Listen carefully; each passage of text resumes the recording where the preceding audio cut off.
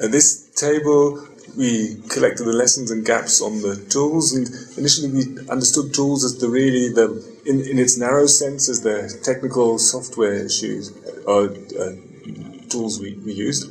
And we started off with listing the most important ones we'd used commonly across the four sites, being SPSS for data entry and initial statistics, CS Pro is something new which has been introduced for data entry for next steps, Google Earth to uh, illustrate the spatial distribution, and GPS to collect GPS uh, GIS information.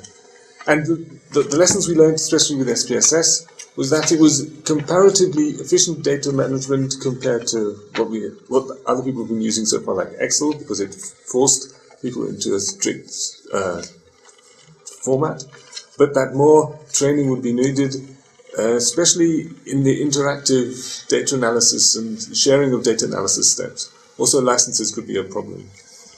However, it was felt that data entry and queries were more difficult than it would be with using other tools.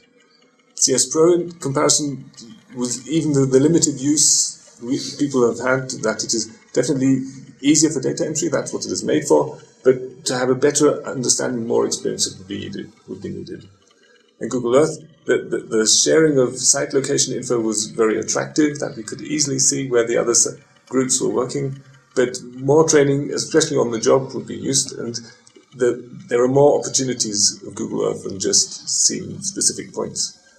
Um, but these points have been fairly consistently collected through GPS, and but it um, and the connection of GPS information to other applications was something new and something useful.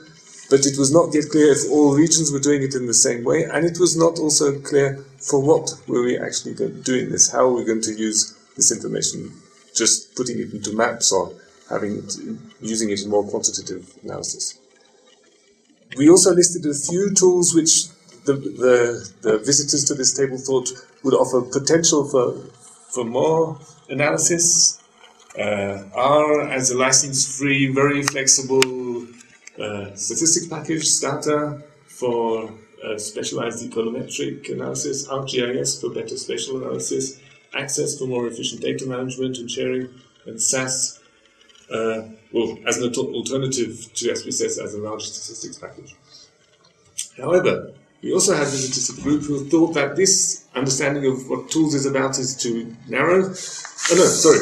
One, one issue, we did, we did have overall issues on tools that training was uh, an issue over all of these, and it led to the suggestion that we, with all of these tools, we do have specialists who have a far greater understanding and it would help the training if the, if the members could be linked to these champions to exchange knowledge and to give tips so that the, the learning is, is made more efficient.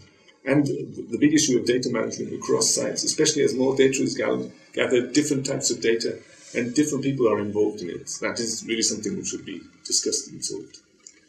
But coming to other tools, apart from the software issues, we thought that the, the questionnaires and the models, which at some stage had been thought to be included in the process table, had not been covered properly in their technical details.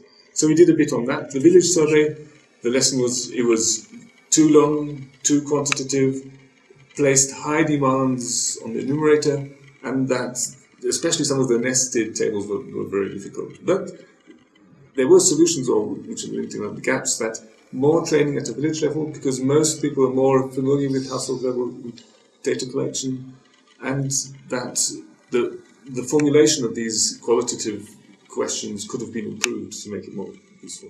Village census was pretty straightforward, everybody was pretty happy.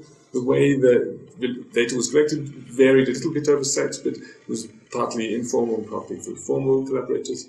Household survey, we don't have very many lessons at, at the moment, but we do see gaps that there's more on markets, especially on the type of markets involved, and also more on preferences. The finally on on models and modeling, it was felt that more interaction with the modelers would be useful to know more what they are about and not only small snippets.